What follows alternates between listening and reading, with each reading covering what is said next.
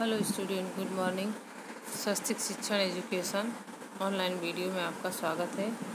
मैं कक्षा सात विषय है सामाजिक विज्ञान। कक्षा सात के सामाजिक विज्ञान का इस वीडियो में एक्सप्लेन करने वाली हूँ। इसमें पहले पार्ट आपको समझाऊँगी। पहले पार्ट का नाम है राजपूत युग, यानी नए शासक और राज्य। ये किताब आपकी बदल गई थी, अभी नई किताब आई है। इसलिए इसमें नए पाठ भी दिए हुए हैं। पाठ का नाम है, राजपूत युग, नए शासक और राज्य। तो आज हम इस वीडियो में राजपूत युग और नए शासक के राज्य के बारे में समझेंगे कि राजपूत युग होता क्या है। राजपूत राजाओं ने 700 ईस्वी से 1200 ईस्वी के बीच 500 वर्ष के दौरान अधिकांशतः उत्तर भारत और दक्षिण भारत पर वर्चस्व जमा कर राजपूत युग की स्थापना की थी। यानी राजपूत जो राजा थे, वो 700 से 1200 ईस्वी के बीच में 500 के दौरान अधिकांशतः उत्तर भारत के दक्षिण भारत में वर्चस्व जमा कर राजपूत युग की स्थापना किए थे। उन्होंने हिंदू संस्कृति उन लोगों ने क्या किया था कि जो भारतीय संस्कृति थी, उसको प्रज्वलित रखा था। ये सभी छोटे, बड़े या फिर भी उल्लेखनीय राजपूत राज्य कहाँ और कैसे थे, उन्हें विस्तार से हम इस पाठ में चर्चा करेंगे। जिसमें पहला दिया हुआ है कि हर्षवर्धन के बाद का समयकाल। जो हर्ष राजपूत युग के समय में हर्षवर्धन थे, उनके समय में उनके समय का जो समय काल है, उसके बारे में हम इसमें पढ़ेंगे कि सातवीं शताब्दी में हर्षवर्धन की मृत्यु के बाद उत्तर भारत में उनके विशाल साम्राज्य का छोटे छोटे स्वतंत्र राज्यों में विभाजन हो गया। इसी तरह पुलकेशी द्वितीय की मृत्यु के बाद दक्षिण भारत में स्वतंत्र राज्य बने। मध्य युग के सायंकाल को भारतीय इतिहास में राजपूत युग कहा जाता है। नेक्स्ट है कि इतना जानिए इतना जानिए, में आपको एक लाइन दिया हुआ है। उसमें लिखा है कि राजपूत शब्द का अर्थ क्या है? तो राजपूत शब्द का अर्थ होता है राजपूत। राजा का पुत्र जो होता है, उसे राजपूत कहते हैं। चौदहवीं शताब्दी के चारण राजपूतों का वर्णन छत्तीस कुल वाले समूह के रूप में करते हैं। जैसे आप देख रहे हैं आगे की लिखा है कि राजपूत बहादुर थे। राजपूत वैसे भी बहादुर होते भी थे और है भी, और उतने ही आत्मसम्मान के प्रबल भावना वाले थे। प्राण देकर भी अपने वचन की रक्षा करते थे। दुश्मन को पीठ दिखाने के बदले वे मृत्यु को पसंद करते थे। राजपूत बहादुर जो थे, वो दुश्मनों को दुश्मनों को पीठ दिखाने के बदले अपनी मौत को, यानी मृत्यु को पसंद करते थे कि उनसे अच्छा है मर जाना। राजपूत गौ ब्राह्मण प्रतिपालक थे। राजपूत क्या थे? गौ ब्राह्मण थे। यानी गायों का जो ब्राह्मण होता है, गायों की पूजा करता है, वो प्रतिपालक थे। शरण में आए हुए कि वे हर हालत में रक्षा करते थे। यानी उनके शरण में, उन राजपूतों के शरण में जो कोई भी जाता था, उनका हर हालत में रक्षा करते थे। लड़ाई में भी वे अधर्म का आचरण नहीं करते थे कभी। राजपूत बहादुर जो थे, वो अगर युद्ध भी होता था तो उसमें भी अधर्म का आचरण नहीं करते थे। भारत की राजपूतानियाँ वीर तत्व के लिए विख्यात थी। तो भारत की जो राजपुतानियाँ थी, वीरत्व के लिए विख्यात थी। पुत्र और पति को प्रसन्न मुख से युद्ध के लिए विदा करती थी। सतीत्व, निडरता और सत्य के लिए वे प्राण की भी चिंता नहीं करती थी। वो उन लोगों की जो वीर पुतानियाँ थी, वो क्या करती थी? क्या करती थी? कि सतीत्व, यानी सती हो जाती थी। उनके पति जब मर जाते थे तो वो अपने पतियों के साथ सती हो जाती थी। निडरता, यानी जरा भी डरती नहीं थी और सत्य के लिए वे अपने प्राण की भी चिंता नहीं करती थी। आप ये चित्र देख रहे हैं, इसमें आपको पता चलता होगा कि इस प्रकार से राजपूत की औरतें, जो राजपूतानियाँ औरतें थी, अपने पतियों को कैसे विदा करती थी युद्ध के मैदान में लड़ाई करने के लिए। तो ज़रूरत पड़ने पर हाथ में तलवार लेकर युद्ध मैदान के लिए निकल पड़ती थी। ऐसी वीरंगनाओं के अनेक उदाहरण देखने को मिलते हैं। सोचिए, इसमें आपको तीन लाइन लिखा हुआ है। उसमें आपको अगर ये क्वेश्चन के रूप में है, अगर समझ में नहीं आएगा तो आप ऊपर से इसमें से पढ़ना पड़ेगा। राजपुतानिया शास्त्र और शस्त्र का अभ्यास किस लिए करती थी? और आगे है कि आज की महिलाओं को किन किन क्षेत्रों का अध्ययन करना चाहिए और किस लिए। तो राजपुतानिया शस्त्र और शास्त्र का अभ्यास इसलिए करती थी कि समय आने पर वह अपने पति का साथ दे सकें। और आजकल की महिलाओं को कैसा है? पढ़ने लिखने के क्षेत्र में, नौकरी धंधे के क्षेत्र में ज़्यादा अध्ययन करना चाहिए क्योंकि अब युद्ध का ज़माना नहीं रहा। भारत के मध्ययुगीन इतिहास में रणधीर राजपूत शासकों की वीरता साहस और शौर्य के प्रसंगों का उल्लेख है।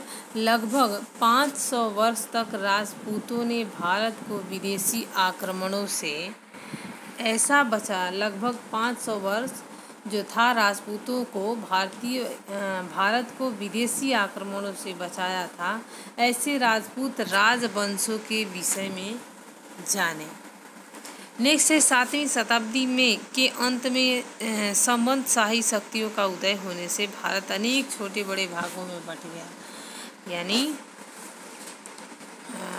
सातवीं शताब्दी के अंत में जो सामंत शाही शक्तियों का उदय हुआ, उसमें भारत अनेक छोटे बड़े भागों में बट गया।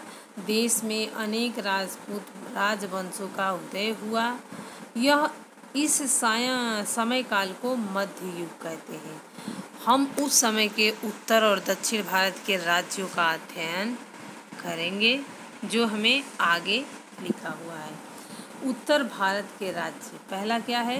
उत्तर भारत के राज्य, गुर्जर प्रतिहार साम्राज्य के पतन के बाद कन्नौज का जो गढ़वाल राज्य बुंदेलखंड था, जिसे क्या कहते हैं? जेजाक भुक्ति। की जो चंदेल मालवा का परमार राज्य था अड़हिलवाड़ अड़हिलवाड़ का चौलुक्य, जिसे सोलंकी राज्य का राज, राज्य कहते हैं, डाहल तथा चेदी राज्य। सांकभरी का चौहान राज्य, दक्षिण राजस्थान का गोहिल राज्य स्थापित हुआ था, उत्तर भारत के राज्य में। गढ़वाल राज्य के शासक चंद्रदेव थे। कौन थे? आपको ये याद रखने योग्य बातें हैं कि गढ़वाल राज्य के जो संस्थापक थे, कौन थे? तो चंद्रदेव थे। इसको हम अंडरलाइन कर देते हैं। चंद्रदेव थे, उन्होंने कन्नौज के अतिरिक्त काशी को भी दूसरी राजधानी बनाई थी। उन्होंने क्या किया था? जो कन्नौज के अतिरिक्त और भी काशी था, उसे दूसरी राजधानी बना दिया था। इस वंश में मदन चंद्र, गोविंद चंद्र जैसे शासक हुए थे। इस वंश में क्या हुए थे? मदन चंद्र, गोविंद चंद्र जैसे शासक बने थे, जिसमें गोविंद चंद्र तो स्कूल के सबसे प्रतापी और पराक्रमी राजा था। गोविंद चंद्र गोविंद चंद्र क्या थे? स्कूल के सबसे प्रतापी और पराक्रमी राजा थे। उन्होंने गजनी के आक्रमण को रोका था तथा कई बौद्ध विहारों का जीर्णोद्वार करवाया था। क्या, किया था? कई उन्होंने गजनी के पर जो आक्रमण होता, उसको भी रोक दिया था। और कई बौद्ध विहारों का जीर्णोद्वार करवाया था। उत्तर भारत के अन्य शासकों में बुंदेलखंड के चंदेलों का समावेश होता है। बुंदेलखंड प्रदेश के चंद, बुंदेलखंड जो है, वो प्रदेश के चंदेलों का यह राज्य बाद में झेजाक भुक्ति नाम से जाना गया। इस राज्य में यशोवर्मन कीर्ति वर्मन, परम ही परम देव, यानी परमार जैसे महान शासक हुए थे। यशोवर्मन कीर्ति वर्मन, परम हीर महादेव, परमार जैसे शासक हुए थे। भारत के इतिहास में चंदेल वंश का खूब महत्व है। खुजराहो, कालिंजर और महोबा चंदेलों के नगर के नगर थे। भव्य मंदिरों के कारण खुजराहो तीर्थ स्थान के रूप में प्रसिद्ध था और चंदेल के बुंदेलखंड में महान धार्मिक इमारतों और जलाशयों का निर्माण करवाकर वहाँ की सुंदरता बढ़ाई थी। मालवा का जो प्रदेश था, प्राचीन काल में क्या कहते हैं उसे, अमवती अथवा उज्जैनी के राज्य के रूप में जाना जाता है। मालवा का जो प्रदेश था, प्राचीन काल में यानी पुराने में, आज के बहुत सालों पहले पुराना जो समय था, उसमें अवंती अथवा उज्जैनी के राज्य के रूप में जाना जाता था। 820 ईस्वी में। कौन से ईस्वी में? तो 820 ईस्वी में कृष्ण राज ने परमार वंश की स्थापना की थी। किसकी स्थापना की थी? तो कृष्ण राज ने परमार वंश की स्थापना की परमार वंश में सियक, मुंज, भोज जैसे महान शासक हुए थे। भोज परमार वंश के सबसे श्रेष्ठ राजा थे। उनकी ख्याति भारत के एक आदर्श लोकप्रिय राजा के रूप में थी। राजा भोज ने धारा नगरी में एक महाविद्यालय की स्थापना की थी। राजा भोज ने क्या किया था कि धारा नगरी में एक महाविद्यालय की स्थापना की थी। उन्होंने चारों ओर से पहाड़ों से घिरे हुए भोजपुर, यानी वर्तमान में वो कहाँ हैं? भोपाल में है। भोजपुर नामक सुंदर नगर को बसाया था चौहान का चाहमान। वंश के अनेक राजपूत सरदार गुजरात और राजस्थान के विविध भागों में राज्य करते थे। उनमें एक शाखा आठवीं शताब्दी में सांभर सरोवर के निकट सांक भरी अजमेर के उत्तर में स्थित सांभर सांभर है। नामक स्थान पर राज्य करती थी। सांक भरी क्या लिखा है? साकम्भरी साकम्भरी चाहमान, यानी चौहान वंश के स्थापक वासुदेव थे। क्या थे? वासुदेव थे। बारहवीं शताब्दी के आरंभ में अजय राज साकम्भरी की गद्दी पर बैठे थे। उन्होंने अजय मेरू नामक नगर की स्थापना की थी, जिसे बाद में अजमेर नाम से जाना गया। गुजरात के सोलंकी राजा सिद्ध राज जयसिंह की राजकुमारी का विवाह चौहान वंश के अरड़ो राज्य के साथ हुआ था। उनका पुत्र सोमेश्वर चौहान गद्दी पर बैठा। उसके बाद क्या हुआ कि उसके पुत्र जो पृथ्वीराज चौहान थे, वो तृतीय गद्दी पर बैठा था। पृथ्वीराज तृतीय भारत के इतिहास में अद्वितीय स्थान रखते हैं। ग्यारह सौ इक्यानवे ईस्वी में थानेश्वर और करनाल के बीच स्थित तराइन के मैदान में जो शहाबुद्दीन गोरी को पृथ्वीराज चौहान ने ज़बरदस्त पराजय दी थी। उसके पश्चात ग्यारह सौ बानवे ईस्वी में पृथ्वीराज चौहान की हार हुई और दिल्ली के तख्त पर मुस्लिम सत्ता का उदय हुआ। अतः तराइन का जो युद्ध भारतीय इतिहास में सीमा चिन्ह का रूप माना जाता है उस राजपूत युग में गुजरात के शासकों का उसमें विशेष स्थान है। आठवीं शताब्दी में गुर्जर प्रतिहारों का राज्य था और आठवीं शताब्दी के मध्य में लगभग सात सौ छप्पन ईस्वी में सरस्वती नदी के किनारे बनराज चावड़ा ने अड़हिलवाड़ पाटन की स्थापना की थी। उसे बाल मित्र अड़हिल भरवाड़ के नाम से बनराज चावड़ा ने नवीन नगर का नाम अड़हिलवाड़ पाटन रखा। ऐसी सामान्य मान्यता है। इस समय गुजरात में सौराष्ट्र और कक्ष में चावड़ा वंश के शासक थे। तो विद्यार्थियों, ये वीडियो हम यहीं ख़त्म करते हैं।